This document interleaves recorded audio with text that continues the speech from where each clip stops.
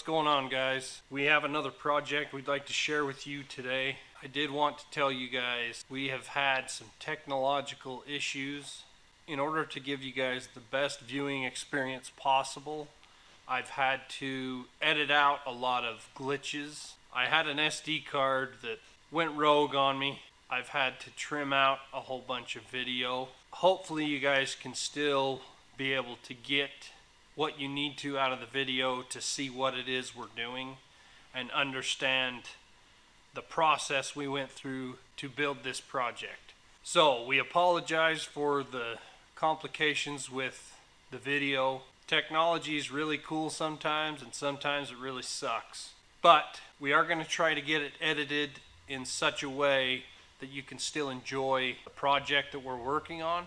We just wanted to make you guys aware of that and we hope you guys enjoy the video. Alright, we've got our material all unloaded and sitting in the shop, so we're ready to start cutting parts.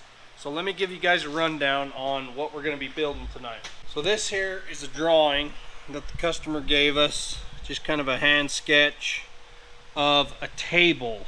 So this table, this is for a company who deals in a lot of landscape materials what they're to do is they're to buy a set of these drive rollers for like doing fab work. So they're to have us build a table that that mounts to.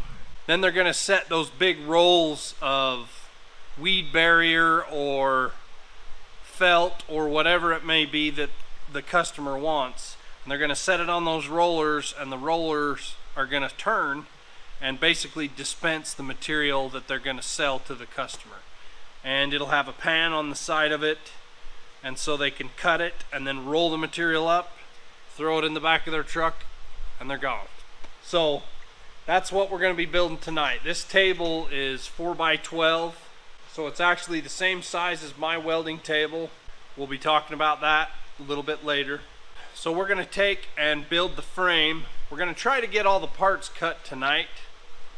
I don't know that we'll get to fitting tonight because it's already 7 o'clock and we haven't had dinner. But we're going to see if we can't cut the parts out and get everything prepped and ready to go for tomorrow and then we'll be able to fit everything. The legs are 4 by 4 square tube, quarter wall. There's framework on the bottom that ties the legs together. That's out of 2 by 2 square tube, quarter wall. There's going to be a stiffener that runs underneath that's 2 by 2 angle there's flat bar brackets on the one side that'll hang down and they'll hold the pan that'll catch the material.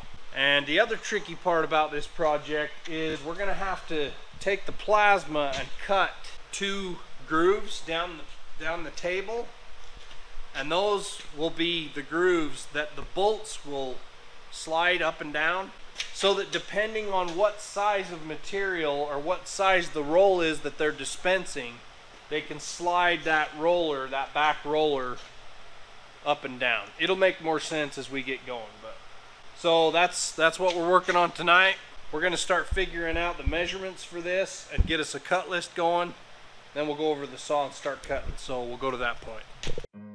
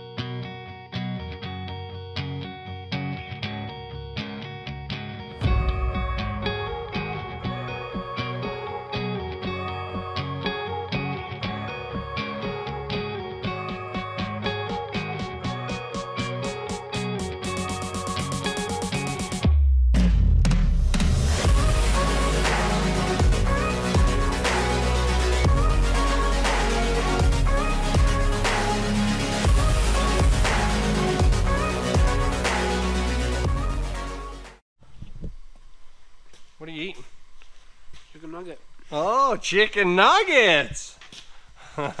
That's how I pay my children. They come out here and work, I give them chicken nuggets.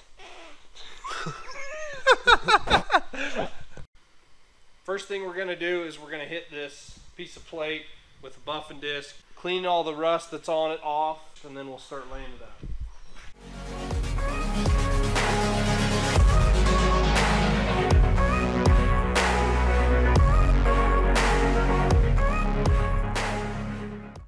All right, we got our piece of plate all cleaned up. Now we're gonna go ahead and start laying this out. I'm gonna set the legs up on here. I'm gonna go ahead and lay out where the corners are gonna go. Set the legs up here. I'll get those tacked to the plate. And then I'm gonna just build the frame around that. We're not gonna put a lot of weld on this plate. We want the tabletop to stay as flat as possible. We want as little warpage as possible. So we're just gonna put little teeny stitches on our stiffeners and where the legs go. We don't need a whole bunch of weld to hold this together. We just need enough that it's gonna hold everything in line and hold the tabletop where it needs to go. So we're gonna go ahead and take our tape measure here and start laying this out. We're just gonna build this one similar to the table here. That's actually what gave this customer the idea to build this table. He saw my table and he wanted a drive roller table and he likes the dimensions of this table so that's where he got the idea. So we're just going to build it similar to this. Leg size is different but the plate size is different as well. So Okay, so we're coming off the ends 12 inches and then we're coming off the outside edge 8 inches.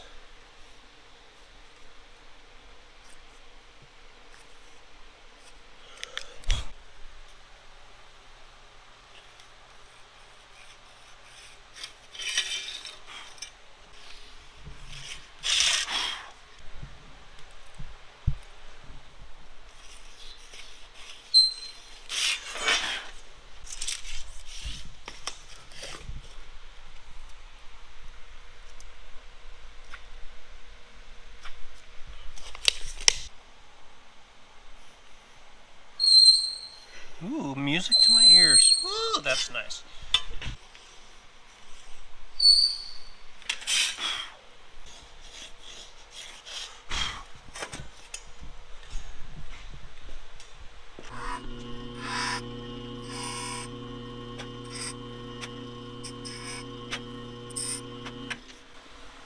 Aim small, miss small. The more precise you can get with your soapstone, the more precise you'll be with your layout. So just another little pointer. Okay, so some of you guys have probably noticed when I lay stuff out, I always use a crow's foot. This is a crow's foot.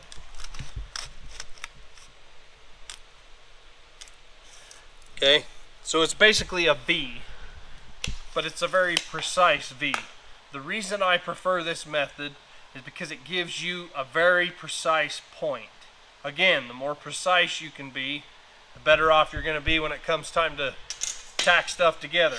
Once you make your crow's foot mark, then you take your square, you line it right up, and I'll actually hold it off. I'll offset it just the width of the point of my soapstone. And that puts it right on the money.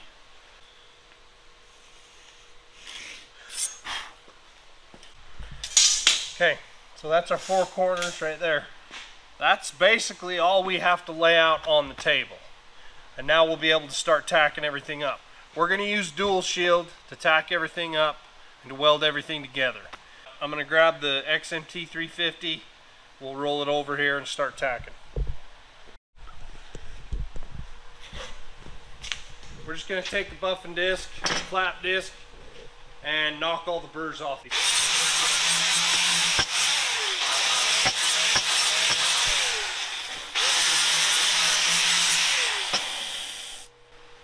Oh, we got visitors. Look, they brought Bridgie some chicken nuggets. Yeah, my 13 year old eats like a three year old. I I thought it was chicken nuggets. It's actually a little more manly meatball. See, this is what men eat. And we approve. Whew, those were good. All right, so thinking about it, I just had a thought that's gonna save us a little time. So I'm gonna I'm gonna pull my measurement on this and mark them before I tack them on. That way I don't have to pull the measurement like this and mark it. It's just, it's gonna save us a little time.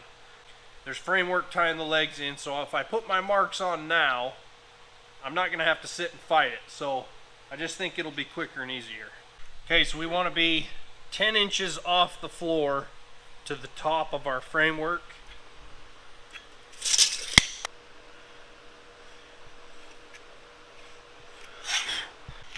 Okay, so there's one. So now, we'll go ahead and stand this up. So then I'll put it on my marks.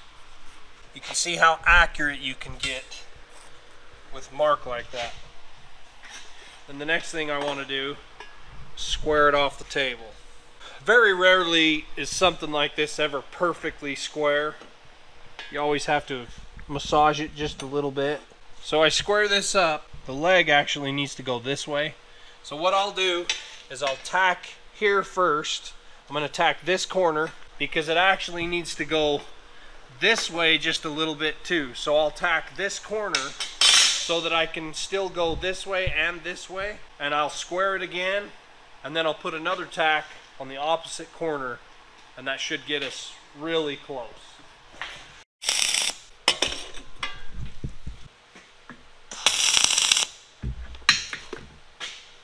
Okay. I'm not holding it anymore. That's square. That's square. Perfect. Okay. So now I'm going to tack the other two sides and I'm going to hurry and hit this side and then bounce to the other side.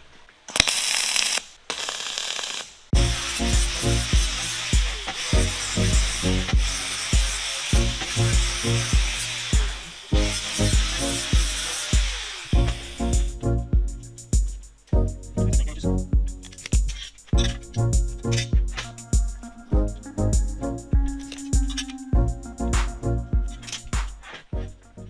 the first corner I'm gonna tack is this corner because it's gotta go this way and it's gotta go this way.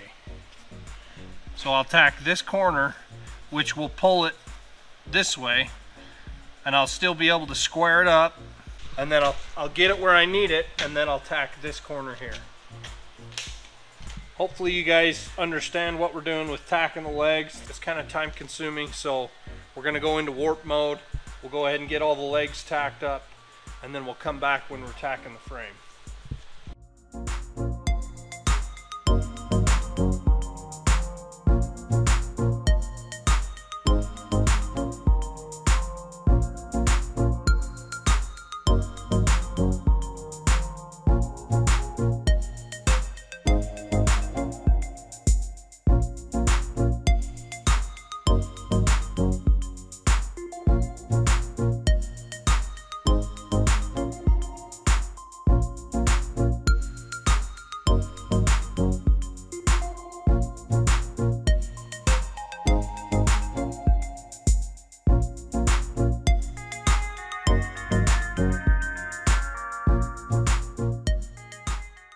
Okay, so for those of you like me who can't quite afford Fireball Tools squares yet, this is how I've always fit stuff like this.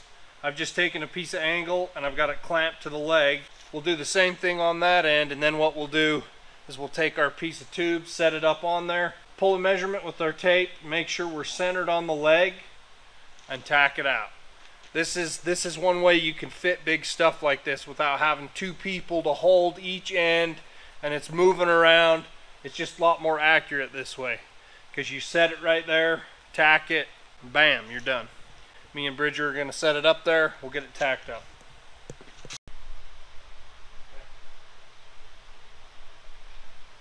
Okay, ready?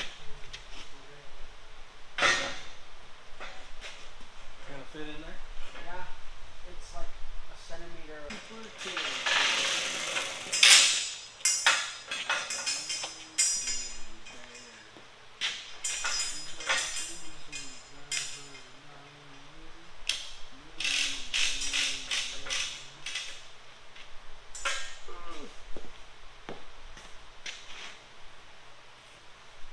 So we really didn't have to put any pressure on that. It's still pretty loose, but that was just enough pressure to pull those legs tight. They just, they pulled just a little bit when we tacked them.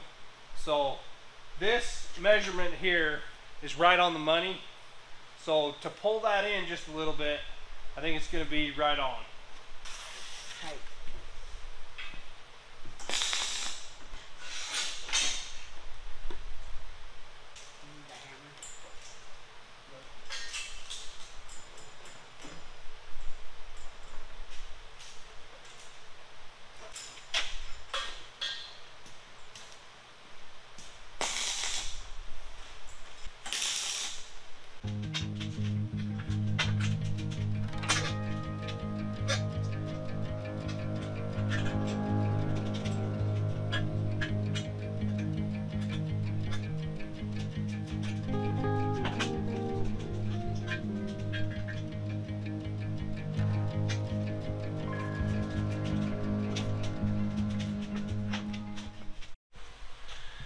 Okay, so I got my angle set up here on both sides. These are basically just to help stiffen the table and keep it straight. So I've got them set up here and I did tack them on here. I haven't tacked the middle yet. I did lay this other stitch pattern out and I'm just going every two feet and I'm staggering my stitches. So I'll pull two feet, mark it, two feet, mark it, and then on the back side, I'll pull one foot, mark it, and then pull two feet so that the stitches are staggered. That's another thing that's going to help distribute the heat. And then the other thing I'll do is when I do weld these up, I'll bounce around. So I'll weld one over here, I'll weld one over here, one over here, one over here. That way it distributes the heat and it's not just me going to town and putting heat in it from this end to this end because that's really what's gonna cause it to warp. So so we'll go ahead and lay the stitches out on this one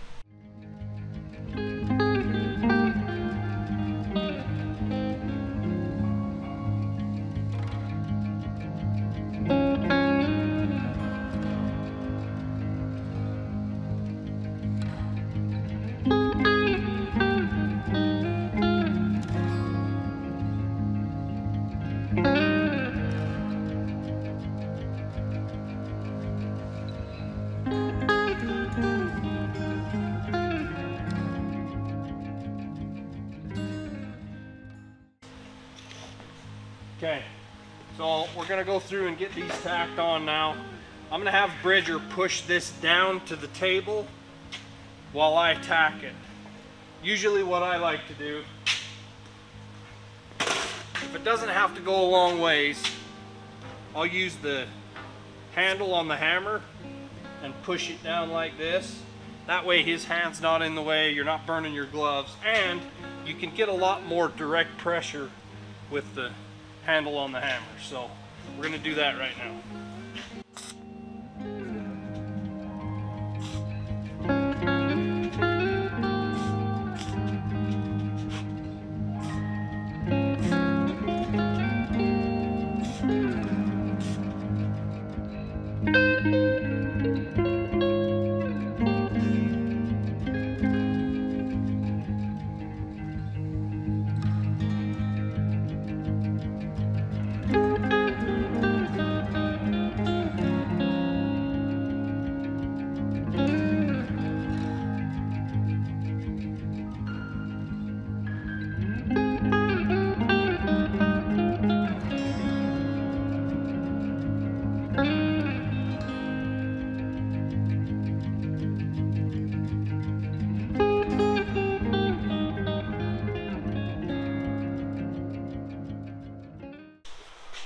So everything's tacked up now.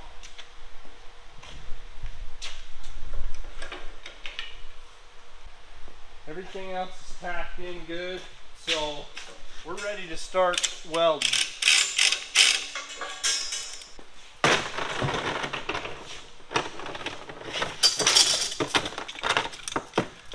I think what we're gonna do is we're gonna start with the tabletop. I am going to clamp this tabletop down to the table in hopes that even if it does try to pull, it's not going to pull much. We want the tabletop as flat as possible. So It's time for today's super cool tool.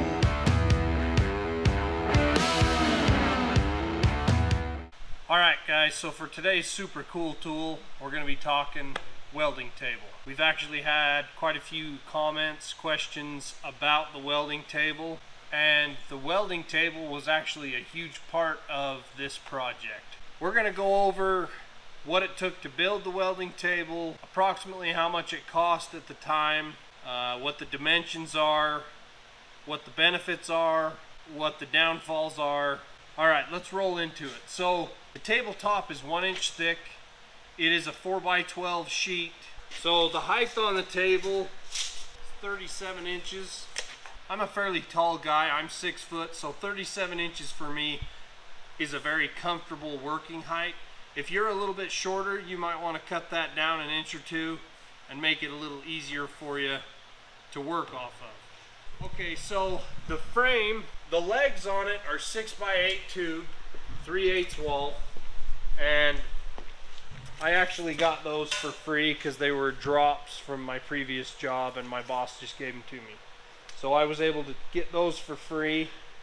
And then I bought a piece of 2 by 2 square tube, quarter wall, and built a runner that ties the legs together and holds everything square.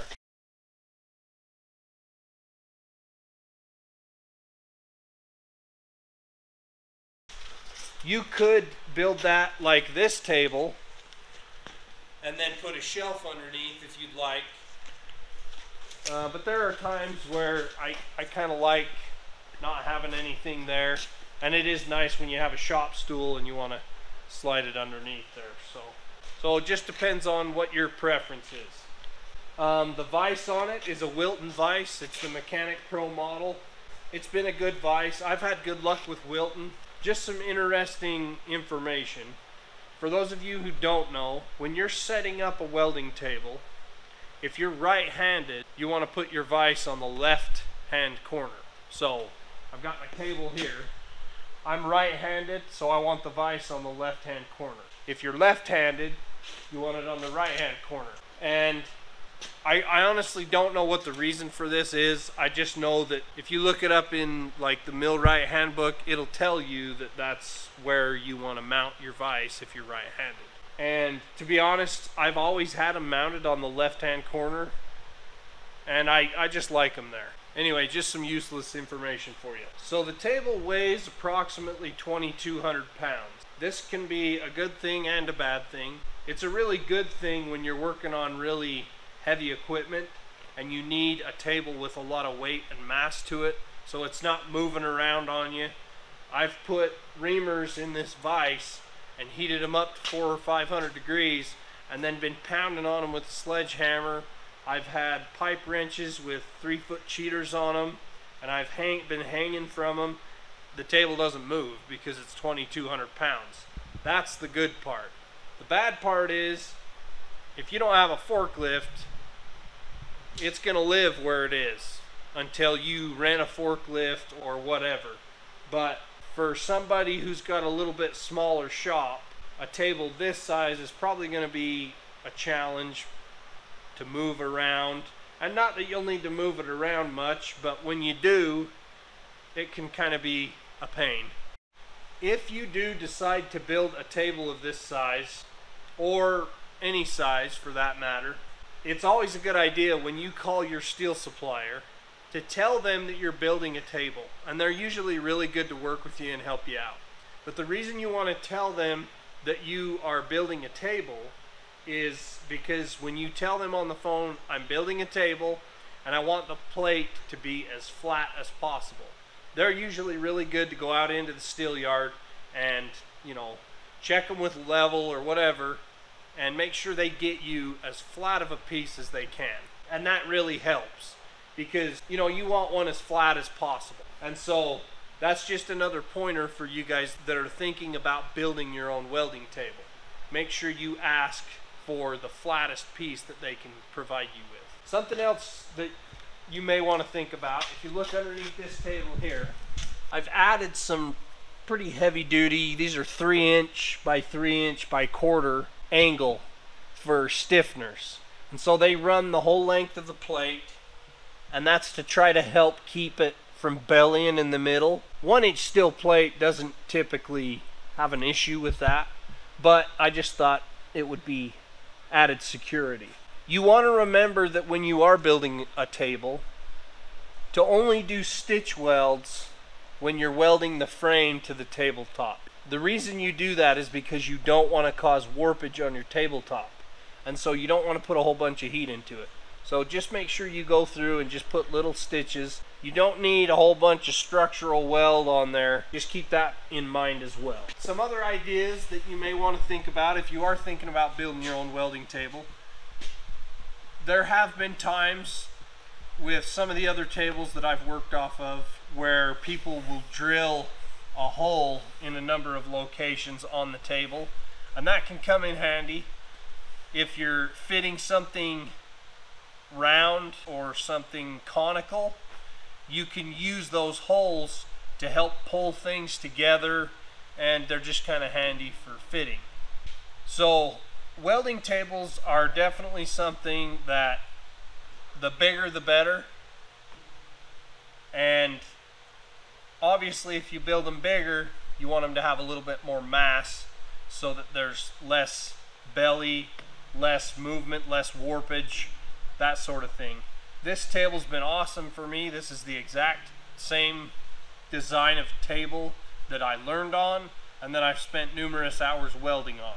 One of the things that's so handy about having a table like this is you can tack stuff to it and it helps you fit and you're not worried about grinding the tacks off when you're done because it's a one inch steel plate and you can always fill the divots in and grind them back off.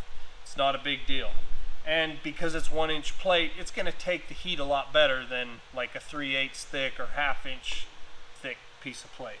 So the heavier you can go, the better. So that's pretty much our welding table. I hope that answered you guys' questions and I hope you guys got something out of that. If you get the chance, build you a welding table. It's a super handy tool to have and it's always nice to have not just a welding table but it's nice to have this table when I'm working on something. There's been numerous projects where I'm working on something mechanical and I've got parts spread out throughout the whole table and it's nice to be able to separate things and keep things organized because I've got all this workspace. And I'm sure you guys have noticed I like to keep my shop nice and clean so when I do start the project I've got workspace to work on. You know, it's not doing you any good if it feels full of crap and it stays there for six years. So another little bit of advice I would give you is if you have a table for welding or for mechanicking or for whatever it may be that you use it for, use it for that and keep it for that. When you use it for a project, that's great. Use it for the project, but when you're done with the project, clean it off, clean the tabletop off. I always take a buffing disc and buff all the berries and spatter off the top of this. I sweep it off, and then sometimes I'll wipe it down with WD-40 just to get that extra little bit of dust off of there. And it'll last you your whole lifetime if you take care of it and you'll always have that workspace that you can utilize when it's time to come out into your shop and use it. So I hope you guys enjoyed this segment. If you have any more questions about the table or any other shop tools, drop it in the comment section below. Let's get back to the project. I'm going to keep these stitch welds as small as possible. So I'm not going to lay a nice heavy one in there. I'm just going to go pretty quick keep a nice small bead and just try to keep the heat minimal. So I'll weld one over here and then bounce over and weld another one. We'll go ahead and get this clamped down and then we'll start bouncing around and we're not going to put you guys through the agony of watching this whole thing, but we are going to go into warp mode.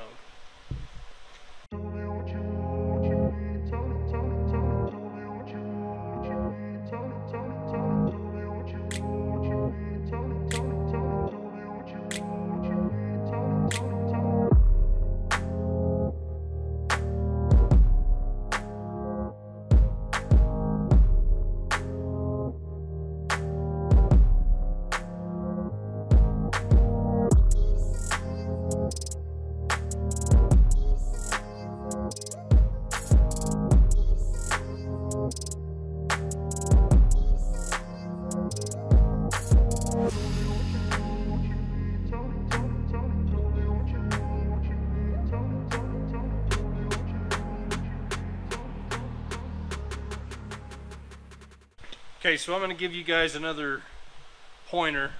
This is something that I like to do.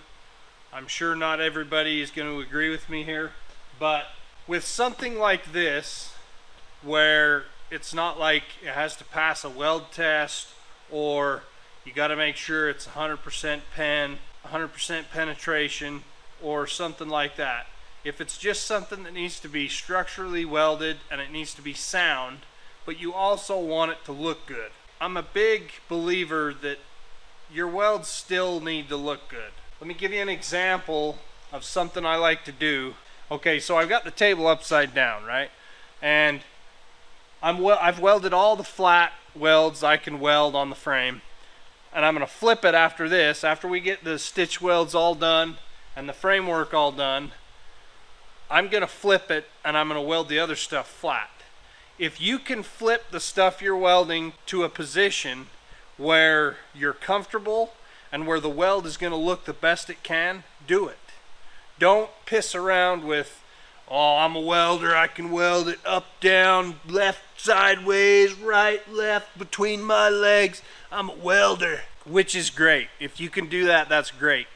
But it's always good if you can just reposition what you're welding and still have a pretty weld. I'm not saying you shouldn't be able to weld things out of position. You should. And I believe that you should practice and you should get to where you can weld a pretty weld in those positions as well. But if you can weld it flat, you're always going to make a prettier weld welding it flat than you are out of position. Now when I say that, I mean with dual shield because it's so fluid. So with a vertical weld like this one, where this doesn't have to pass a weld test or anything like that, it just needs to be a good sound, pretty weld. What I'll do is I'll, I'll do what's called triggering. And so I'll just trigger those up. And so if you look at this here, this is what it looks like after I weld it up. Okay, so I'm basically just, I start at the bottom and I tack and I move up and I tack and I move up and I tack so it's just a tack on top of another tack is what it is. But when you're done, it can look really pretty if you practice and you get good at it. I used to work with a guy who was an artist with this stuff.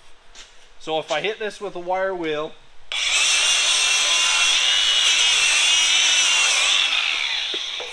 you can see I've got to knock some spatter off of that, but it's not an eyesore. And I'm sure a lot of people think that's petty, but for something like this, triggering works great. So I would encourage you guys to practice triggering. If it's something like this that doesn't, you know, if it's not pipe or something like that, it has to be perfect. If it just needs to be sound and look good, triggering is awesome for this kind of stuff, especially when you're running dual shield. I'm not saying it's the same story for short arc and TIG and stuff like that.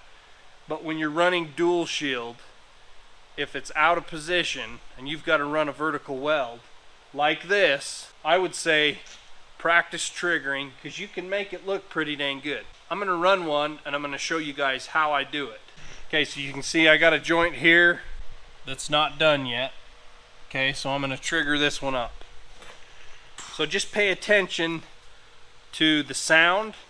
Pay attention to how quick I move from one tack to the next. Another pointer, if you are going to practice this method, set your hood so that the delay is not quite as long, so that it's a little quicker, because it's just a tack, so it's not going to blind you, but it's going to it's going to turn on while you're welding, and then it's going to turn off. Turn on, turn off. If you have a long delay, it takes a lot longer to do this, and personally, I don't think you can make it look quite as good unless you turn the delay down on your hood so that you can have some good timing to where you're not waiting a long time in between tacks. So watch how fast I do this and you'll see what I mean.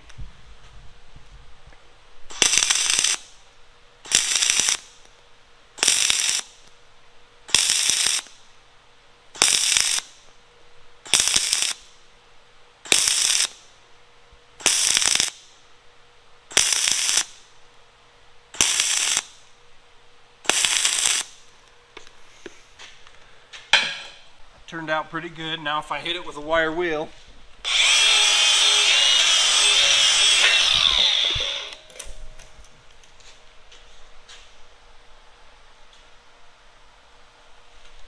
you're able to do a lot more with dual shield if you learn to weld like this. So you run your flats and there's times there's times where you flat just can't position what you're welding and so you're going to have to either run it uphill or you can trigger it. Now, I'm proficient enough with dual shield I could run it uphill and it would probably look pretty dang good, but I prefer the way this looks over just running it solid uphill. Anyway, it's just a pointer I wanted to throw out there. If you do start running dual shield and you're welding something like this, give triggering a try. It's It looks good, it's clean, and then if you go through and you clean up your welds, clean up your spatter, it just, it looks really good. And I'm a big advocate for making your welds look good. If you do a job and the customer sees your welds and they're like, wow, those welds look really pretty. I promise you they're going to be more likely to come back and they're going to tell more people about your work because it looks good and you took the time to clean it up and make it look nice. All right, so I got a few more of these to do. So we'll go back into warp mode. I'll finish up these few stitches and verticals and then we'll go from there. Alright,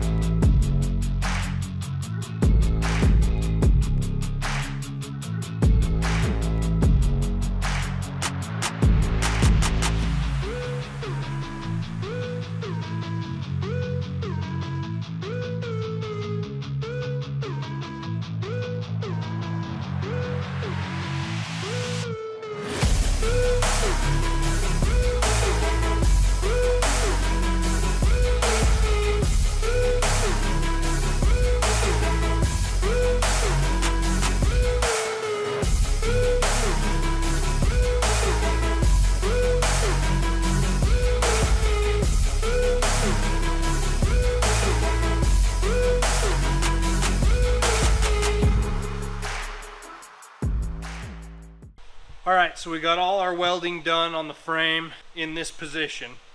We are going to flip it, but we're not going to do that tonight. It's Friday and it's 9 o'clock, so I'm going to go in the house, eat some dinner, have a little family time, and tomorrow we'll flip it over after it's completely cooled. That's the other thing I wanted to do is I want to keep it clamped to the table until it's completely cooled, and then tomorrow I'll flip it back over. Alright guys, we're back out here today. And the first thing we're going to do is we're going to clean all of our welds up with a wire wheel. We're going to take our fireball scraper. We're going to knock all the spatter off, chisel, hammer, get all the BBs off. We'll get this all cleaned up. We'll go from there.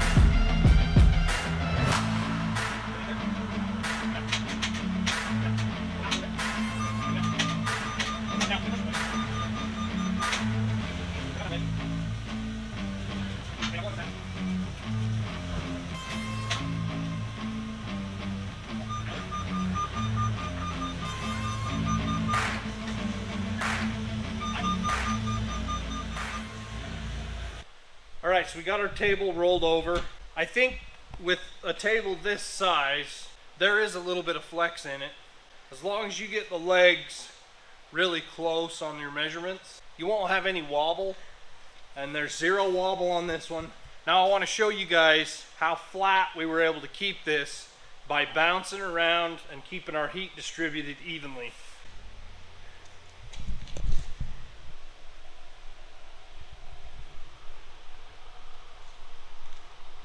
So hopefully you guys can see that on camera, but it's it's pretty tight the whole way. There's just a hair off the end.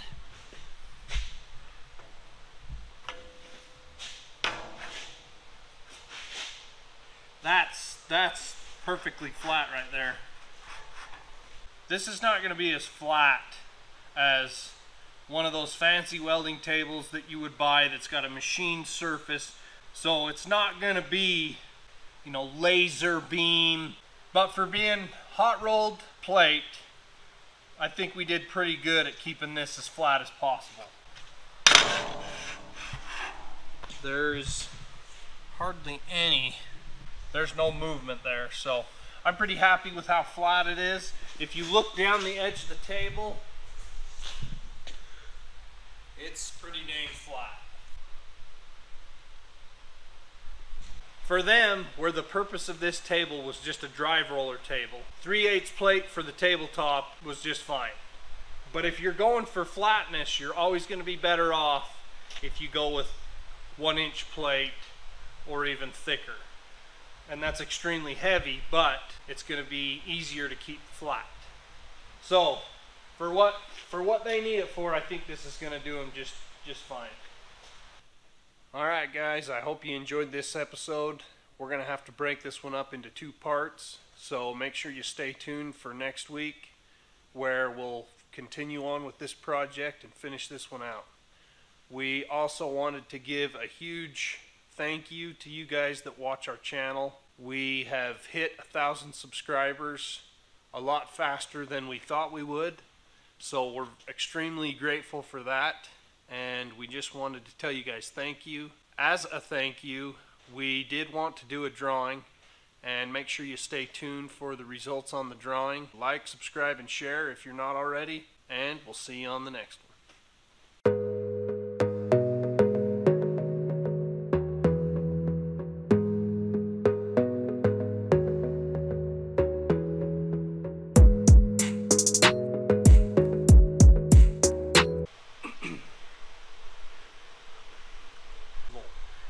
Want as we don't want we want as little we want to Let me see. Let me see your boot. You guys got to see this. Let me see. He's got slobber on his boot. Don't say that. I'm not sure why he was slobbering. Bridger's our pet Saint Bernard. Come here. Come help me fit this. Do you want me to sand it? Send it. Sand it. And uh, So yes. so now I'm gonna run one and, and I'm gonna show you. Ah! Grab me that tape, boy. Hurry. Man, live. Find a new gear. He's like. Oh, there it is. it Feels like sandlocked. Or for any size, or of any. Mm. if you do decide to build a table like this, or for any size, huh,